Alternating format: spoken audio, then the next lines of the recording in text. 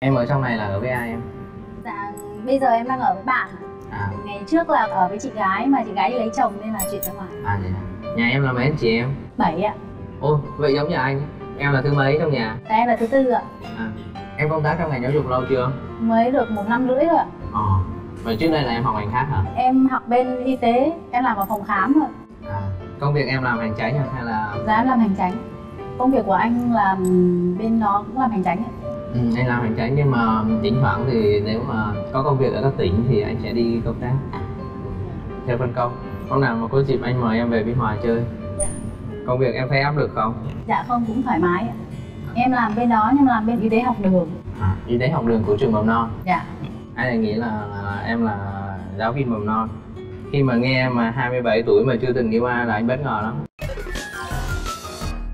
em là Lê Đình Lý ở Đồng Nai lên năm nay em 33 tuổi Đồng Nai ở đoạn nào Lý? em ở Biên Hòa chị Biên Hòa Đồng Nai Mình đang làm công việc gì? em đang là chuyên viên pháp lý cho văn phòng luật sư Ở quê mình ở đâu? em quê Thanh Hóa chị Vào đây lâu chưa? em vào cũng có 13 14 năm rồi Hiện giờ ở với Biên Hòa là em ở với ai? em ở với gia đình nhà cầu Đông anh chị em không? nhà em đông chị ơi nhà em tới 7 anh chị em Có ai vào trong này lập nghiệp không hay là dạ có hai hai anh trai vào đây ở đâu? Ở Biên Hòa luôn Biên Hòa luôn Dạ. Mà sao không ở với anh mà ở với với, với cậu?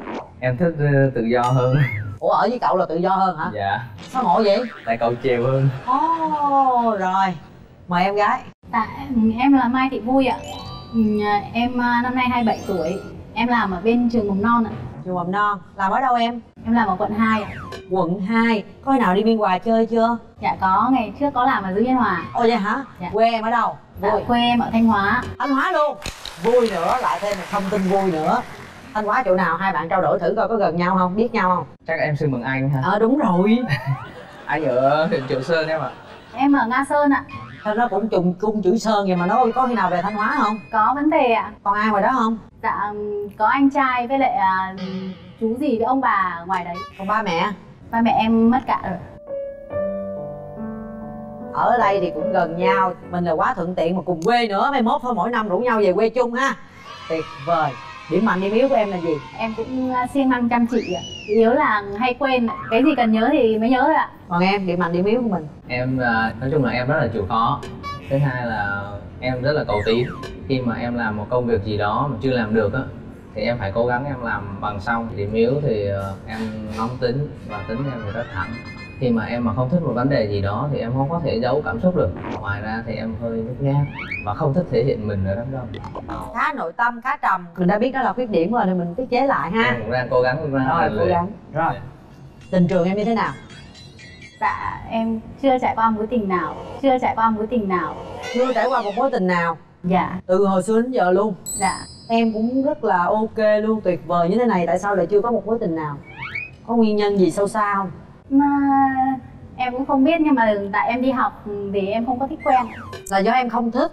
Dạ. Hết học lâu rồi mà. Hết học rồi đi làm thì làm môi trường ít nam nên là cũng chưa có cơ hội để tiếp xúc nhiều. Có để ý ai chưa? dạ chưa. Em cũng chưa thích ai luôn. Dạ. Ơi là chưa có gặp một đối tượng nào mà làm cho em rung động hết trơn. Dạ chưa. Mà em có thích con trai không? dạ có ạ. Sao em biết là em có thích? Chưa có cho cơ hội thôi ạ tại À. vì trước giờ là chưa muốn Thế vậy thì tại sao bữa nay lại muốn? bây giờ thấy mình cũng có lớn tuổi một chút rồi Vậy là cũng chắc là chưa có nụ hôn đầu đời rồi phải không? dạ Uổng phí tự xưng quá Thôi cố gắng lên Trời ơi đẹp gái vậy mà không yêu uổng quá à Sao em? Nãy giờ em nghe bạn gái như vậy em có cảm xúc gì không? em khá là bất ngờ Em nhìn thấy cổ em còn bất ngờ hơn nữa Bất ngờ nhưng mà bất ngờ là bất ngờ thích hay bất ngờ không thích? Ở 27 tuổi mà chưa yêu ai thì bất ngờ thôi bất ngờ với cái số tuổi và cái tình yêu mà chưa có thôi Thế còn em thì sao? em ờ, trải qua hai mối tình Thì, ờ, mối tình đầu ờ, khi em còn là năm cuối của sinh viên Ừ. thì kéo dài 3 năm 3 năm nhưng mà thực sự là em không không có ấn tượng nhiều với mối tình đầu mối tình thứ hai thì kéo dài 7 năm 7 năm yeah. 7 năm sao chia tay? Sao chưa cưới? Hai đứa tụi em có tình cảm với nhau nhưng mà càng mà kéo dài thì lại càng cảm thấy là nhận ra những cái khác biệt của nhau. Đó, ta yêu ta lấy liền đi để chi mà dài dữ vậy, đêm dài lắm mộng. Em thì thuộc cái người là cầu tín thích cái sự nỗ lực vươn lên còn bạn đó thì nói chung là thực sự ra thì gia đình nhà bạn có, có cái sự điều kiện nó nó dường như bạn sinh ra trong một cái gia đình mà tương đối là là ổn định nên thành ra bạn bằng lòng với cái cuộc sống đó. Là không có muốn cơ không Đúng cần rồi. thiết phải là không có muốn thay đổi lên nữa. À, không cần phải vươn thành lên. ra, thành ra thì rất là khó. Em động viên bạn học thạc sĩ thì chính em phải là người đi mua hồ sơ cho bạn học chứ bạn không có chủ động đi mua. Và chính em là người giúp bạn là xin việc làm chứ bạn không có chủ động đi xin việc làm. Hay tại người ta muốn nương nhờ vô em. Nếu mà muốn nương nhờ vào em thì chắc giờ này đã không chia tay cuối cùng đỉnh điểm là như thế nào mà chia tay? Khi mà em xin việc làm cho bạn xong rồi á một thời gian thì thấy bạn thấy công việc nó tương đối rồi thì bạn nói là không hợp. Là bạn ấy ngỏ lời chia tay trước. Dạ và em cũng cảm thấy là không hợp thì để cho mà nó tốn thời gian Dạ. quá. Nhưng mà suốt 7 năm đó là vẫn bên nhau hay là có giai đoạn nào chia tay hay gián đoạn không? Không. Là vẫn bên nhau. Dạ. Song hành giúp đỡ nhau đi học. Học xong ra mỗi người cầm cái bằng tốt nghiệp chia tay nhau hay quá cô khác vô hưởng thôi kệ vậy đi. Giờ cô đó có bạn trai khác chưa? Em cũng không biết nữa chị ơi. Có còn gặp nhau không? Không ạ. có khi nào tình cũ không rủ cũng quay trở lại không? Không thì lâu lắm rồi em không gặp. Chia tay bao lâu rồi? Ờ, một năm rưỡi rồi. Ngưỡng mộ. Ta quen muốn tình 3 năm tình 7 năm còn mình hai bảy năm không quen ai. Thì tình mẫu người lý tưởng của em như thế nào? Em muốn tìm một người như thế nào? Em muốn tìm một người mà thứ nhất là hiếu thảo thứ hai nữa là phải biết cách cư xử nhường nhịn về ngoại hình có tiêu chuẩn gì không? Ờ, cao khoảng một m tám à mét năm tám. Tưởng đâu bé tám nữa hồn cao một m năm tám đến một m sáu mươi em mình có ờ, tiêu chuẩn về chọn người bạn trai như thế nào? Cao khoảng một mét bảy ạ. Là mét bảy rồi Dạ. gì nữa? Người đậm đậm một chút là được rồi. Người gì? Đậm một chút chứ không có gầy ạ. em cao mét mấy? Em cao mét sáu sáu. Mét sáu sáu. À, mét sáu sáu mà đòi gái quay tay cao tới mét sáu năm chi dữ vậy? Có đem hình theo không? Dạ có ạ đâu đây thì coi hình coi. Đây. Dễ ẹt à có hai anh lựa một anh thôi. Trời ơi ơi cái gì đông người vậy?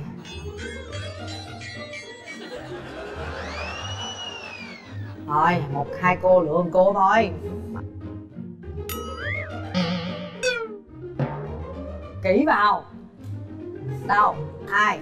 Thì em nghĩ là anh. Tại sao? Tại sao lại chọn anh đó anh trông giống bên là bên luật hơn. Ai trong nhóm minh luật hơn hả? Nếu mà đưa chị chị cũng chọn anh này. Nhưng mà hỏi chị lý do chị nói tại thấy hai người này thả tim mà người này không có thả tim. Áo đỏ. Áo đỏ. Tại sao chọn áo đỏ mà không chọn áo đen? Tại vì em thấy rằng là bạn bên kia bạn nói rằng là thích một bạn nam mà đậm đậm người thì chắc em nghĩ bạn hơi mập. Ồ.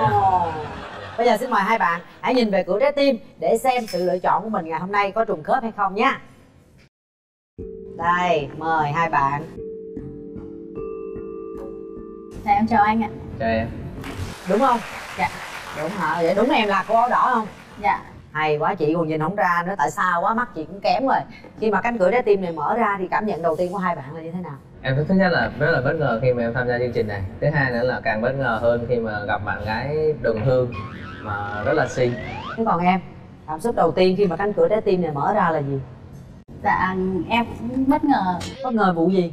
Trông anh nghe trông giống người kiến thức nhiều ạ. Ăn qua đi kìa. À anh à, lần đầu gặp em anh có món quà nhỏ. Dạ em cảm ơn anh ạ. Dạ, em có chút quà nhỏ tặng.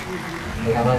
Món quà là gì vậy? Mình có thể trao đổi à, mình có thể tiết lộ xíu không? Thực ra thì em rất là muốn tự tay làm một món quà để tặng cho người bạn hôm nay gặp. Ồ. Nhưng mà hôm vừa rồi thì em gặp sự cố là chân hơi đau không có đi lại được. Nên em mua một món quà ngộ vậy? Tự chân đau mà ảnh hưởng đến tay luôn hả? Không đi lại không có mua sắm những cái trang nhưng mà nếu mà đi đi, đi được thì em làm được cái gì? Em có thể làm một số đồ handmade nho nhỏ như là bình cắm hoa bình buồn hay quá ha. Thế còn em món quà của em là gì ạ Em tặng anh một cuốn sách ạ. Có những thứ mà vấp ngã mình vẫn có thể coi đó là bài học để mình phấn đấu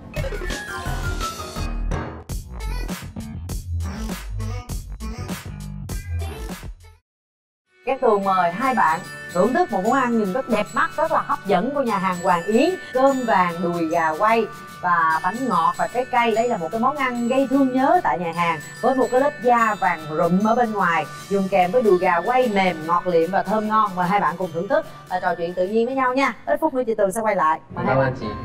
Anh mời em. Dạ em mời. Em. em ở trong này là ở với ai em? Dạ bây giờ em đang ở với bạn. À. Ngày trước là ở với chị gái mà chị gái đi lấy chồng nên là chuyển ra ngoài. À vậy nhà em là mấy anh chị em? Bảy ạ. Ôi vậy giống như anh? Em là thứ mấy trong nhà? Dạ em là thứ tư ạ. À, em công tác trong ngành giáo dục lâu chưa? Mới được một năm rưỡi rồi ạ. Ờ. Vậy trước đây là em học ngành khác hả? Em học bên y tế, em làm ở phòng khám rồi à, công việc em làm hành chánh à? hay là Dạ em làm hành tránh. Công việc của anh làm bên đó cũng làm hành tránh ạ ừ, anh làm hành chánh nhưng mà thỉnh thoảng thì nếu mà có công việc ở các tỉnh thì anh sẽ đi công tác. Theo phân công. Hôm nào mà có dịp anh mời em về biên hòa chơi. Dạ. công việc em thấy áp lực không? Dạ không cũng thoải mái Em làm bên đó nhưng mà làm bên y tế học đường. À, y tế học đường của trường mầm non. Dạ. Anh lại nghĩ là, là em là giáo viên mầm non? Khi mà nghe mà 27 tuổi mà chưa từng đi qua là anh bất ngờ lắm. Thì cũng có nhiều người bất ngờ em có hay về nhà ngoài bắc không? Có, một năm em về một lần tết về hả? Thì bình thường là Tết về còn còn có khi nhà mà có việc thì sẽ về vào dịp khác thì Tết không có về. Nữa. à em ờ, có ờ, nghĩ rằng là em sẽ lập nghiệp ở trong này không? Hay là em sẽ về bắc? Dạ em nghĩ là mình thích ở trong này hơn. À anh thì anh thấy là anh học ở phía nam này hơn là ở bắc. Xác định là ở trong này lập nghiệp luôn hả? Dạ. Trời ơi cơm ngon quá ăn đi. Ăn nhiều vô cái đó mập kìa tao thích da tròn tròn mình hơi ốm này nè. Không? Cho hồi nãy giờ tâm sự được nhiều chưa? Dạ cũng hỏi để biết xem là có lập nghiệp trong nam này được không? À em có định lập nghiệp trong nam luôn chứ hả đúng không? Dạ. Cùng chí hướng. Cùng chí hướng rồi. Dạ. Em ở quận 2 là ở với ai vậy? Em làm ở quận 2 nhưng mà ở quận 9 ạ. À càng gần Dạ, nữa. Càng gần biên hòa nếu mà ở đó là ở với ai? Ở với bạn. À mình còn em ở với đó là rồi có kế hoạch gì để mà ví dụ lấy vợ hai người là cùng chí hướng nè. Rồi giờ lấy vợ muốn lập à, nghiệp ở trong này luôn thì mình có cái định hướng gì kế hoạch gì cụ thể cho tương lai chưa? Em nghĩ rằng là ở đồng nai nó sẽ phù hợp à, với công việc và cũng như là cái mức sống nó cũng phù hợp với lại khả năng. Bây giờ công việc đã ổn định chưa em? Có việc ổn định chưa? Dạ rồi. Em làm luật mà về bên cái mảng nào? Chủ yếu là về dân sự. Năm nay là bao nhiêu tuổi rồi? Em năm nay 33 ba ba rồi. Như tuổi này cũng là đã có vợ có con được rồi đó đúng chưa? Dạ. Bây giờ thì à, nếu mà muốn định cư ở trong này muốn làm việc luôn thì cũng phải có nhà có cửa để vợ con đồ ở chứ mình cũng không đâu thể ở nhà cậu mợ hay anh chị được hoài. Dạ. Đúng không? Bây giờ nếu như quen một mối quan hệ thì em định bao lâu mình sẽ tiến tới hôn nhân em nghĩ rằng là tùy vào cái tình cảm sâu nặng giữa hai người ừ. là có hiểu nhau hay không Ừ. và có chấp nhận nhau hay không thì nhưng mà mình cũng phải có một cái mốc. Chứ gì không thể nào mà cứ quen nhau hoài rồi để kéo dài 5 năm 7 năm nữa rồi chia tay chị cũng không có tán thành cái việc đó. Em nghĩ là 6 tháng đến một năm. 6 tháng đó. Nó ít nhất nó phải có một cái như vậy. Như thời buộc mình con gái mình thanh xuân mình qua nhanh lắm em. Dạ. Quen một cái đối tượng mà thấy được hay không được á thật sự mà người ta trân trọng mình để yêu thương mình á có thể là ngày cưới hay đồ mình từ từ nhưng mà phải ngỏ lời. Tại em chưa có kinh nghiệm chị phải truyền kinh nghiệm. Dạ. Chứ còn nếu mà quen một cái người mà người ta cứ im lặng người ta không nói gì người ta không chủ động muốn có cầu hôn mình nên xem lại coi người ta có muốn tiến dài tiến xa với mình hay không. Đúng không? Dạ tôi nói gì có sai gì không? Dạ đúng. Đúng không? Chứ bây giờ quen hoài không cầu hôn. Phải đợi người đàn ông cầu hôn. Mà giờ ta không cầu hôn mình ngồi hoài luôn. Cái tự nhiên qua tuổi thanh xuân đến một lúc nào đó chợt nhận ra ờ sao mình không hợp nhau này kia cái chia tay có phải thanh xuân của người phụ nữ nó qua đi không? Em cũng vậy nữa. Lấy vợ sớm sớm một chút sanh con rồi con cái ờ, không sau này cha già con mọn đúng không cưng? Dạ rồi tiếp tục kế hoạch kế hoạch. Em nghĩ nếu mà hai đứa tụi em mà có thể tiến tới được với nhau thì sẽ làm nhà ở đồng nai. Làm nhà ở đồng nai. Dạ. Cố gắng đi giờ cũng có bằng rồi học hành bao nhiêu năm nay rồi tập trung công việc rồi dành dụm để mà có một cái tổ ấm rồi an cư thì mới lạc nghiệp được. Còn cái điều kiện mà làm quen tìm hiểu với nhau thì chị thấy hai bạn rất là hợp. Nãy giờ chưa thấy khó khăn nào hết chưa thấy nha. Còn mình tìm hiểu có hợp hay không là còn tùy nữa vì cái đó là về cảm xúc. Nhìn bề ngoài thì ok còn cảm xúc là phải do hai bạn bây giờ tường mời hai bạn à, mỗi người bóc một lá bài ha. Trong này có những yêu cầu của chương trình đưa ra. À, mình sẽ thực hiện những yêu cầu trong chương trình này. Có chút va chạm có chút tiếp xúc với nhau để tìm hiểu nhau nhiều hơn. Hoặc lớn lên em gái. Giả sử anh và em đang ngồi uống cà phê Có một cô gái đến bắt chuyện và làm quen với anh Em sẽ xử lý như thế nào? hai đứa đang hẹn hò đang đi chơi đang tìm hiểu đang yêu nhau. Tự nhiên có một cô gái tới mình diễn thử đi mình diễn thử coi như giờ hai người nè đó bây giờ hai người là chị trẻ chị làm cô gái kia thôi nha. Cô chị ví dụ nha. Bây giờ hai người đang uống cà phê đang trò chuyện nè. Cái tự nhiên chị tới nè. Em chào anh. Dạ em nhìn xa em thấy anh em ngồi bên kia em nhìn qua em thấy anh dễ thương quá à. anh có thể cho em xin số điện thoại anh được không? Các em phải hỏi bạn anh. Thì em xử trí thì sao? Cô đó cô nhìn em đó. Dạ em kêu anh cho luôn. Ạ cho luôn hả? Dạ. Dạ chỉ cho rồi kìa anh. Nếu mà chị cho thì em ra lấy số từ chị đi chị cho em số điện thoại ảnh đi chị. Em không có làm gì đâu tại em thấy anh đẹp trai dễ thương quá nên em muốn kết bạn thôi. Dạ. Cho không cho cho luôn hả? Sao vậy? Tại sao cho? Mình phải bảo vệ tình yêu của mình chứ. Ơi. nếu mình đã tin tưởng rồi thì mình nhưng mà giang hồ giờ hiểm ác lắm em. Mình tin tưởng là một chuyện nhưng mình đừng cũng phải là ờ, ngăn cản khi thấy có những cái tín hiệu xấu. Bạn trai mình ok tốt nhưng mà biết đâu những cô gái xung quanh người ta không tốt thì sao? Mình vẫn phải tin tưởng nhưng mà nếu trên thực tế mà có một cái tình huống như vậy và anh ấy xử lý như lúc nãy thì em suy nghĩ như thế nào? Đồng ý với cách ứng xử đó không? dạ. Còn ngược lại thì em có đồng sự đồng ý với cách ứng xử của bạn gái em là cho không em nghĩ rằng là cái cách ứng xử của bạn nó cũng khá là tốt nhưng mà không biết là về nhà có nhéo em hay là có làm gì em hay không thì về nhà em chưa biết được bụng làm thì dạ chịu nha ảnh đã hỏi ý kiến em mà đưa qua em mà em còn cho như vậy nữa thì là về nhà không có ngắt nhéo ảnh nha. Dạ. Hai bạn đây mình đang còn rất là lịch sự tuy nhiên trong tình yêu thì đôi lúc không có thể hiện được những điều đó đâu. Yêu nhau đi rồi mới thấy cái cảnh yêu nhau đi rồi mới thấy cái cảnh. Lúc đó là sẽ lông lồn lên như thế nào và sẽ sưng sộ lên như thế nào. Còn lâu mới cho số điện thoại. Rồi mời em hãy thực hiện các động tác theo yêu cầu của bạn gái. Bạn gái đọc đến đâu bạn trai làm tới đó. Rồi em đọc đi cho ảnh làm. Dạ Làm động tác. hơn nữa Ôi là em phải đứng lên em sang bên đấy chứ đúng không chị? ồ vậy hả? Mời em. Chị đâu biết? Chứ hay là em ngồi bên này thì hơi xa này sao chị đâu biết? Em hỏi ý kiến chị thì chị tư vấn giùm em. Ồ chị chỉ tư vấn um, về cảm xúc thôi chứ còn về hành động chị không có tư vấn được. Em phải thương lượng với cô ấy chứ. Em có đồng ý cho anh sang hôn em không? Em xin phép chị nha. Trời xin phép tuần chi, xin phép bạn ấy, xin phép tuần chi Trời ơi.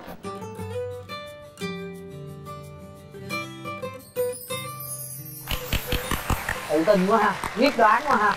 Bắn tim ạ. Bắn tim, Rồi em đọc luôn anh đứng đó làm luôn. Bắn tim. Này hả? Nhìn cổ chứ không lẽ bắn cho tôi rồi nhìn tôi? Phút tóc kiểu lãng tử. Sao? Này hả? Lãng tử đó hả? Em biết nữa em sống nội tâm giờ em có biết uh, phút lại coi phút lại. Thường muốn ta phải thọt mấy ngón tay vô. Sầu quá. Cái gì nữa cái này cái gì? Phải thọt vô trong cái máy. Hất lên gì mới lãng tử được. À, Rồi làm thử coi, làm thử coi Nói đùa cho vui thôi Đó là những cái câu hỏi chương trình dành cho hai bạn Để chúng ta có một chút xíu gọi là Có cái sự va chạm để mình hiểu nhau nhiều hơn Với lại đo được cái cảm xúc của nhau à, Đây về phía bạn nam là có một người thân đi theo Là ai vậy em? Dạ cô dạy em À là cô dạy dạy về cái gì? Cô dạy em từ thời mà em là sinh viên luật á Oh. Đến bây giờ thì vẫn là kèm cặp em trong công chuyên môn nghiệp vụ Rồi mời cô ạ à. Mãi dạ chào cô Dạ. Dạ Chào ờ, diễn viên, MC và người đẹp không tưởng khác tường. Dạ cảm ơn cảm ơn cô Cô ngồi nghe cái câu chuyện của à, hai bạn trẻ này từ nãy giờ ha Dạ. à, Theo ý kiến cá nhân của cô thì cô nhận xét về cặp đôi này như thế nào? Xin phép cho mình được dài dòng chút xíu là mình sẽ có bốn cái lời khen Dạ thay lời nhận xét cho cái cả chương trình này, Dạ. riêng gì cặp đôi. Dạ cảm ơn cô À, thứ nhất là mình có một cái ờ, lời khen dành cho chương trình bởi vì nhờ có chương trình này mà những cái ờ, trái tim đang cô đơn sẽ tìm thấy nhau Dạ và sẽ lan tỏa được cái tình yêu và các bạn sẽ có cái hy vọng về một cái tương lai trong Dạ. cái tình yêu của các bạn. Em thay mặt chương trình cảm ơn cô. Dạ rồi là cái lời khen thứ hai dành cho MC Cát Tường. Đó là một cái MC có rất là nhiều năng lượng, đặc biệt là năng lượng trong tình yêu. Mặc dù là bị ế Không, Cát Tường thì làm sao đấy được? Cát Tường vẫn giữ một cái lửa cho cái tình yêu của mình. Chính vì cái lửa đó truyền được một cái thông điệp cho các bạn trẻ rằng là tình yêu là một cái gì đó rất là tuyệt vời. Dù cho chúng ta gặp những cái khó khăn, những cái trắc trở, thậm chí là chúng ta chia tay Chúng ta phải theo đuổi nó, dành thời gian dành tâm huyết dành cho một cái tình yêu trong cái cuộc sống này. Và cái lời khen thứ ba mình dành cho bạn nữ khi mình uh, bước vào cái uh, phòng ghi hình và mình được ngồi phía sau bạn nữ. Cái điều mình rất là thích ở chỗ bạn nữ này là gì? Mình không nói đến ngoại hình thì bạn này quá tuyệt rồi. Mình có một cái cảm xúc đó là gì? Mình nghe thấy mình nghe thấy cái cảm xúc của bạn ấy luôn. Tức là bạn ấy đang ở trong một cái trạng thái là bịt mắt kính nhưng mà nụ cười vẫn nở trên môi bạn ấy. Và cái hơi thở của bạn ấy mình cảm nhận được là bạn ấy rất là mong chờ cái cuộc gặp gỡ này. Và bạn ấy rất chân thành mong muốn có một cái cuộc gặp gỡ này. Dạ. Và cái lời khen thứ tư đó là mình dành cho ờ, học trò của mình. Mình cũng có cái duyên là dạy bạn này ở đại học. Và mặc dù là không tiếp xúc với bạn nhiều lắm nhưng mình có lời khen cho bạn đó là bạn có một cái sự nghiêm túc trong cả công việc trong cả tình yêu trong cả cuộc sống của mình. Nói nôm na đó là một cái người đàn ông. Nếu một người phụ nữ cần một cái đàn người đàn ông tốt một người đàn ông có gia đình thì bạn này có thể là đáp ứng được cái tiêu chuẩn đó. Dạ. cho chê chút xíu đó là bạn này hơi cầu toàn trong cuộc sống như trong công việc à hơi chê đang đang chê hả? Đang, đang chê. đang chê À. đó. Và chính vì sự cầu toàn đó thì đôi khi bạn hơi khó tìm thấy cho mình một cái người mà theo bạn là hợp với bạn. Công việc cũng là một trong những cái lý do để bạn cảm thấy là hơi cảm thấy hơi e sợ trong cái tình yêu hoặc là hôn nhân gì đó. Mong bạn nữ và bạn nam luôn tha thiết mong bạn nữ tạo một cái cơ hội cho nhau. Bởi vì tất cả nó quá tuyệt vời rồi. Mình rất là mong à, các bạn tạo cho nhau một cái cơ hội để tìm hiểu. Mình cứ tìm hiểu như là những cái người bạn bè cảm xúc còn lại là một cái điều nó phải được vun đắp chứ không phải là chỉ là nhìn ngày hôm nay các bạn ha. Rồi xin ơn dạ cảm ơn cô rất là nhiều với những cái lời rất chân thành của cô ạ. cô ạ. Dạ, con cũng cảm ơn cô. Dạ cảm ơn cô rồi, dạ. rồi. cảm xúc của bạn nữ như thế nào? Sao em lại khóc? Có nguyên nhân gì? Có gì? Không có em nghe cô nói là cô hiểu được tâm ý của em với lại cảm xúc của em thì nó tự dưng nó à, thế là mình xúc động thôi. À, một cô bé rất là đầy cảm xúc. Và những đây cũng là những người sống nội tâm. Thật sự những người mà nhiều cảm xúc như vậy á chị nghĩ đó là những con người à, lương thiện. Và thật sự với cảm xúc của một người hay là mai mối chị thấy hai đứa em tương đối là tương đồng với nhau. Giống như hồi nãy cô cũng có chia sẻ đó tình yêu lúc nào nó cũng đẹp hết mặc dù trong tình yêu nó sẽ có rất nhiều cung bậc cảm xúc tại chị em chưa yêu lần nào. Nên chị chia sẻ không phải tình yêu là vui vẻ không? Không phải là cười không đâu em.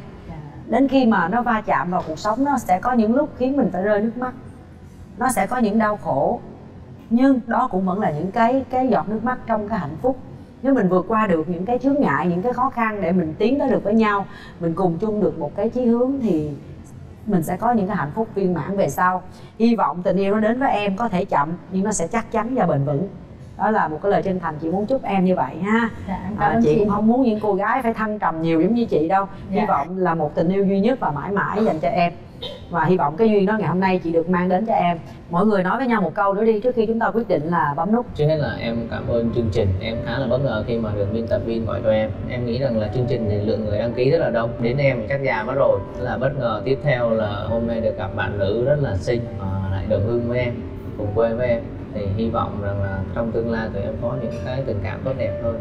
Anh muốn nói với em rằng là anh sẽ cố gắng để vun đắp tình cảm giữa hai đứa. Dù rằng không biết tương lai nó như thế nào nhưng mà anh sẽ cố gắng từng ngày từng ngày. Dạ. Nếu mà có cơ hội um, hai người hẹn hò với nhau thì em cũng cố gắng để vun đắp tình cảm.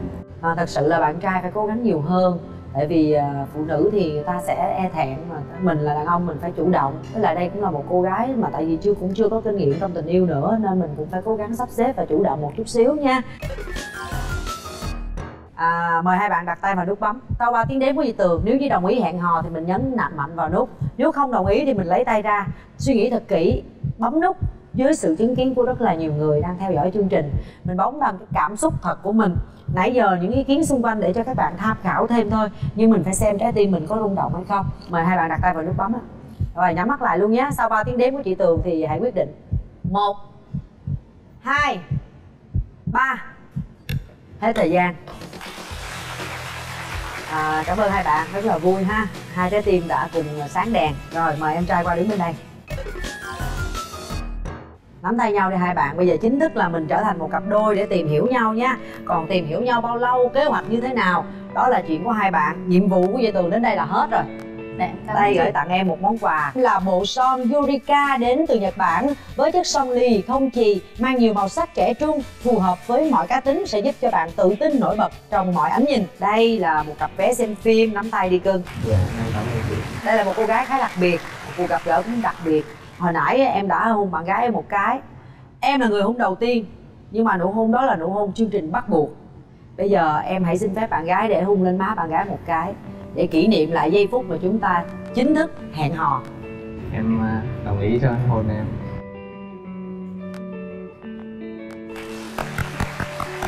Rất dễ thương, rất là nhẹ nhàng. Tôi nghĩ rằng đây là một cặp đôi rất là hợp nhau. Hy vọng là chúng ta sẽ theo dõi và chờ đợi tin vui đến từ họ.